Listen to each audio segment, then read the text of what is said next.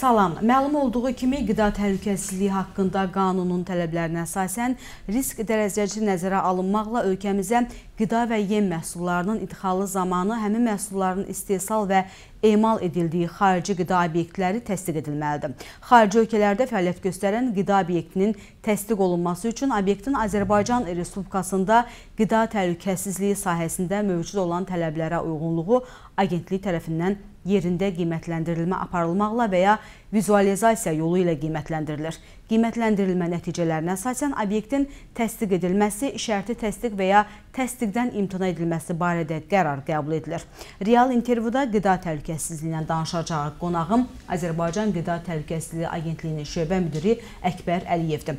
Əkbər müəllim, xoş gördük sizi və qeyd etdiyim kimi bu gün biz qida təhlükəsizliyindən danışacağıq. Öncə e, ilk sualım da elə qida təhlükəsizliyi haqqında Azərbaycan e, Respublikası qanununda xarici ölkələrdə fəaliyyət göstərən qida obyektlərinin təsdiqi ilə bağlı hansı tələblər var? Təşəkkür edirəm.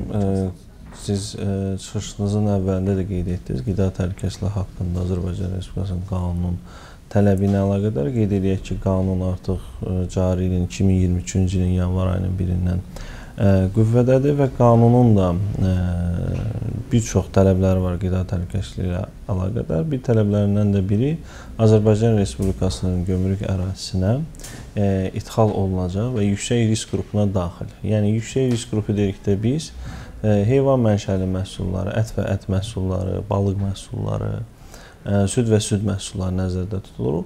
Həmin məhsulların istehsalçıları, yəni həmin istehsalçılar xarici qida obyektləri Qida Təhlükəsizliyi Agentliyi tərəfindən təsdiq edilməlidir. Bu proses nə deməkdir?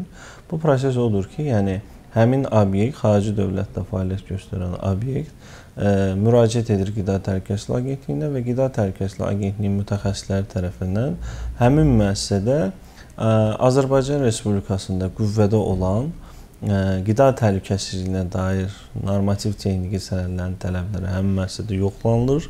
Yoxlanılır ki, həqiqətən də bu müəssisədə olan tələblər bizim ölkədə olan tələblərlə eynilik təşkil edir və ya ondan üstündür və o zaman həmin müəssisə haqqında təsdiq edilməsi və ya bizim mütəxəssislər tərəfindən orada hər hansı bir uyğunsuzluq müəyyən edilərsə 180 günə qədər biz vaxt verib həmin nöqsanların aradan qaldırılması şərti ilə təsdiq edirik.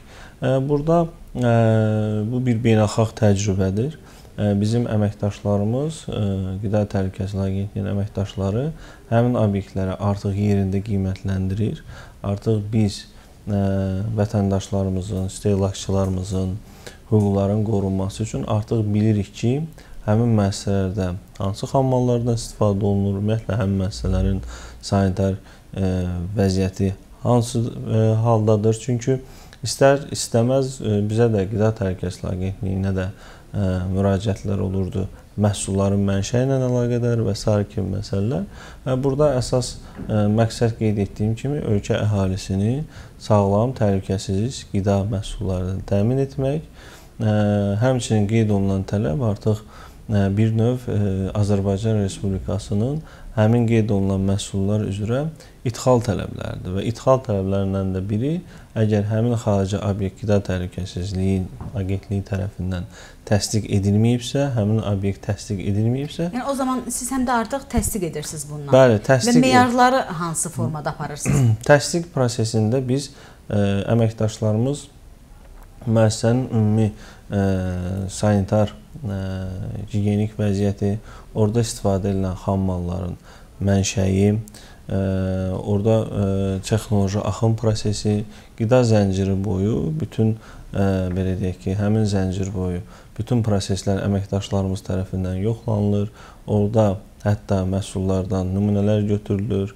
Bir növ təsdiq prosesi özündə bütün müəssisənin belə deyək ki, beynəlxalq standartların, həmçinin Azərbaycan Respublikasında qüvvədə olan ə, qida təhlükəsizliyinə dair normativ texniki sənədlərin tələbləri ə, bizim əməkdaşlar tərəfindən yoxlanılır və əsas məqamlardan da biri ə, HASP sisteminin həmin müəssisələrdə yoxlanılıb, o tətbiq edilib, tətbiq edilməməsi, ISO 22000 standartının tətbiq edilib, edilməməsi, sadaladığım sənədlər nə sənədlərdir? Həmin sənədlər beynəlxalq standartlardır. Yəni həmin müəssisələrdə qida təhlükəsizliyinin idarə edilmə sistemi ilə bağlı bir sənəddir.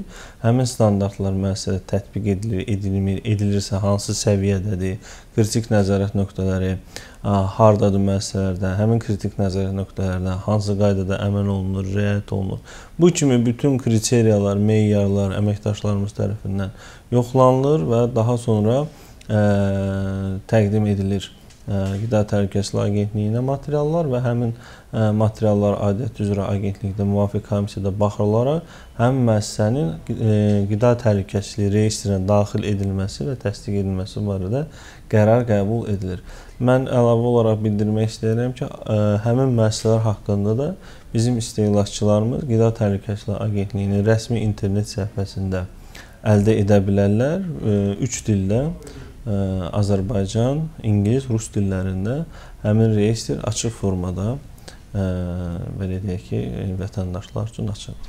Əkbər müəllim, siz qeyd elədiniz ki, bu bütün bu həm təsdiq, həm o qeydiyyatdan keçmə beynəlxalq qaydalara uyğun həyata keçirilir. Amma qida təhlükəsizliyi haqqında qanunda məsələn bu məsələlər öz əksini necə tapır? Qida təhlükəsizliyi haqqında qanuna əsasən bir mənalı qanunun tələbi ondan ibarətdir ki, təsdiq edilməyən yüksək risk qrupuna daxil belə deyək ki, məhsulların istehsalçıları əgər ölkəyə məhsul gətirmək istəyirsə, ixrac etmək istəyirlərsə, əgər onlar qida təhlükəsizliyi agentliyi tərəfindən təsdiq edilməyibsə, onların belə deyək ki, xarici dövlətdə fəaliyyət göstərən qida obyekti təsdiq edilməyibsə, o zaman ə, həmin müəssisələrdən ölkəyə məhsul idxal edilə bilməz. Yəni bu qanunun tələbidir.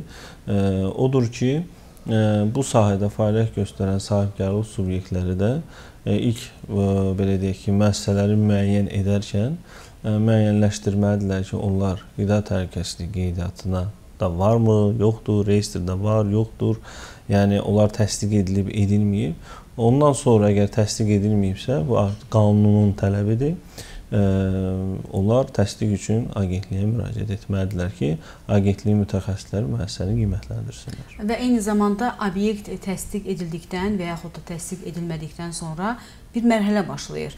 Yəni biz bilmək istəyərdik ki, o hansı mərhələdir?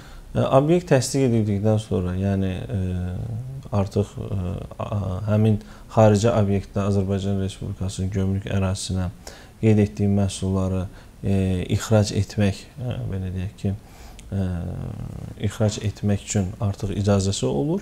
Ondan sonra bilirsiniz, yəni Qida Təhlükəsizliyi Agentliyi ümumiyyətlə qida təhlükəsizliyi haqqında qanun bütün bu qida təhlükəsizliyi sistemi risk qiymətləndirmə, yəni risklərin qiymətləndirilməsi əsasında bütün məsələlər tənzimlənir və ölkəyə həmin məsələlərdən artıq məhsullar ixal olunarkən məhsulun spesifikasiyasından, ixal olunduğu ölkədən və digər məqamlar nəzərə alınmaqla risk qiymətləndirmə aparılır və ölkəyə ixal olunarkən sözsüz onlar laborator müayinələrə cəlb olunur və laborator müayinələrin nəticələrinə əsasən onlara müvafiq satış sertifikatları verilir. Agentlik həm də xarici qida obyektlərini qiymətləndirmə, yəni potensialına malikdir.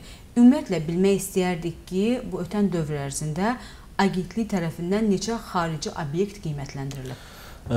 Mən bir məqamı qeyd etmək istəyirəm, xüsusilə qeyd etmək istəyirəm ki, Qida Təhlükəsizliyi Agentliyinin əməkdaşları bir çox inkişaf etmiş ölkələrdən Almaniya kimi, Yeni Zelandiya kimi, Polşa, Balqaristan, Hindistan, Rusiya Federasiyası, Belarusiya Respublikası, Belarus Respublikası bu kimi dövlətlərin müəssisələrində artıq qiymətləndirmə aparırlar. Hətta bizə ə, müsbət geri dönüşlər olur həmin dövlətlər tərəfindən ki, yəni sizin aşkarladığınız uyğunsuzluqlar ə, biz ə, neçə hə, deyək ki, həmin müəssisəni biz neçə vaxtdır nəzarət etmirdik. Ə, sizin ə, bu nəzarət bizə bir daha kömək etdi bizim ölkəmizdə hətta belə qida təhlükəsizliyi sistemində. Bu bir xüsusi haldır ki, yəni bizim əməkdaşlarımız orada yüksək səviyyədə qiymətləndirməni həyata keçirirlər və bu da öz növbəsində dediyim dövlətlərin səlahiyyətli orqanları tərəfindən yüksək də qiymətləndirilir. Bu il ərzində Qida Təhlükəsizliyi Agentliyinin əməkdaşları tərəfindən, Qida Təhlükəsizliyi Agentliyi tərəfindən artıq 260 xarici qida obyekti qiymətləndirilmişdir. Onlardan 224-ü ilə əlaqədar artıq müvafiq qərarlar verilmişdir. Belə ki, onların içində həm təsdiq olunanlar, həm şərti təsdiq olunanlar, həmçinin imtina etdiyimiz müəssisələr də vardır. Artıq Qida Təhlükəsizliyi Agentliyinin qeyd etdiyim reyestrində 197 xarici obyekt təsdiq edilmişdir. 20 obyekt şərti təsdiq edilmişdir. 4 obyektdə isə, daha doğrusu 3 obyektdə isə imtina imtina verilmişdir. Birinə isə yenidən qiymətləndirilməsinə əlaqədar qərar qəbul edilmişdir. Digər bizim deyək ki, xarici obyektlər üzrə hesabatlar artıq işlənmə mərhələsindədir və növbəti günlərdə həmin məsələlərə də müvafiq komissiyalarda baxılması nəzərdə tutulmuşdur və qeyd etdiyim kimi bizim istehlakçılar, vətəndaşlar, həmçinin digər maraqlı tərəflər də Qida Təhlükəsizliyi Agentliyinin rəsmi internet səhifəsində Qida Təhlükəsizliyi Agentliyi tərəfindən təsdiq edilmiş, reyestrə daxil edilmiş xarici qida obyektləri haqqında məlumatı əldə edə bilərlər. Qeydiyyat və təsdiq bölməsindən həmin şirkətlər, müəssisələr ölkələr haqqında məlumata əldə edə bilərlər. Hal-hazırda əməkdaşlarımız tərəfindən qiymətləndirmələr ə, davam etdirilir.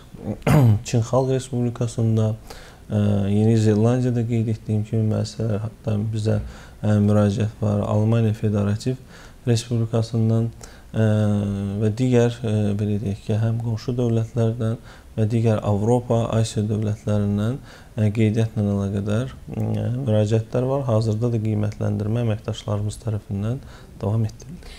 Əkbər müəllim, agentlik qida sahəsində fəaliyyət göstərən sahibkarlıq subyektlərinin səyyar formada qida təhlükəsizliyi qeydiyyatına alınmasına start verib. Bilmək istəyərdik ki, bununla bağlı hansı yeniliklər gözlənir?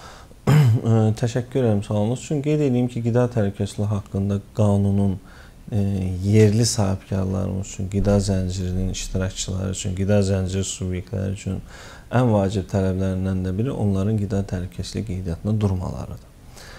Əgər mən qida zənciri subyektiyəmsə, ictimai yaşa, topdan satış, pərakəndə satış, hər hansı qida məhsulunu istehsal edirəmsə, emal edirəmsə, birinci gördüyüm iş qida təhlükəsizliyi qeydiyyatına subyektimi və obyektimi qeydiyyata saldırmaqdan ibarətdir.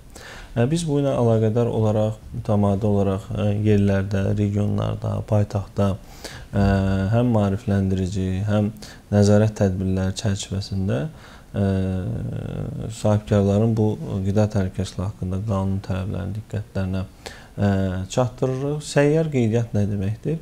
Səyyar qeydiyyat bizim əməkdaşlarımız tərəfindən yerlərdə monitorinqlər aparılaraq qeydiyyatda olmayan, qeydiyyata durmayan, qeydiyyatda olmayan, yəni qida təhlükəsizliyi qeydiyyatda olmayan obyektləri səyyar formada, yəni bizim sahibkarlar heç bir yerə getmədən, heç bir əlavə resurs sərf etmədən bizim əməkdaşlar həmin obyektlərə yaxınlaşır. Bizim əməkdaşlarımız, müfəttişlərimiz xüsusi elektron avadanlıqlarla təmin olunub, həm yaxa kameraları, həmçinin də planşetlərlə. Həmin planşetlər vasitəsilə obyekt haqqında məlumatlar toplanılaraq birbaşa yerində müəssisələrin qida təhlükəsizliyi qeydiyyata həyata keçirilir. Qeyd edeyim ki, qida təhlükəsizliyi qeydiyyata alınmasına əlaqədar hər hansı bir dövlət rüsumu nəzərdə tutulmayıb, hər hansı bir xidmət haqqı da nəzərdə tutulmayıb. Odur ki, sizin də efirdən səslənərək həm də sahibkarlara olaraq hə, ki, səslənəsiniz. Səslən, hər hansı bir çağırış edəsiniz onlara. Səslənərək bildirmək istəyirəm ki, onlar qida təhlükəsizliyi qeydiyyatına dursunlar. Qida təhlükəsizliyi qeydiyyatına duran zaman onlar sanki bir qida təhlükəsizliyi çətirinin altında olacaqlar və onların artıq qida təhlükəsizliyi sisteminə bir töhfəsi olacaq. Qida Təhlükəsizliyi Agentliyi tərəfindən müvafiq maarifləndirici məlumatlarla hər zaman şəxsi kabinet, çünki onlar qeydiyyatda duranda Qida Təhlükəsizliyi Agentliyində artıq onlar üçün şəxsi kabinet açılır. Həmin şəxsi kabinetə həmişə agentliyin əməkdaşları tərəfindən müvafiq maarifləndirici məlumatlar, qida təhlükəsizliyi, qida təhlükəsizliyi ilə bağlı normativ sənədlər və digər məlumatlar hər zaman bölüşülür. Ona görə də ə, qanunun tələbi alidir. O hər hansı bir burada güzəş yoxdur. Ona görə də səslənərək bildirmək istəyirəm ki, istər səyyar formada, istər elektron formada, istər digər vasitələrlə müraciət etsinlər və qida təhlükəsizliyi qeydiyyatına dursunlar. Əkbər müəllim, mən sizə təşəkkür edirəm. Həm də sizin sahə çox çətindir, çünki qidanın təhlükəsizliyi bizim hər birimiz üçün, sağlamlığımız üçün çox əhəmilidir. Mən işlərinizdə sizə uğurlar arzulayıram. Təşəkkür, təşəkkür edirəm. Çox sağ olun. Çox sağ olun. Sağ olun. Belə xatırladım ki, real intervyuda qonağım Azərbaycan Qida Təhlükəsizliyi Agentliyinin şöbə müdiri Əkbər Əliyev idi. Biz Əkbər müəllimlə qida təhlükəsizliyi haqqında danışdıq. Yenidən görüşmək ümidi ilə hələlik.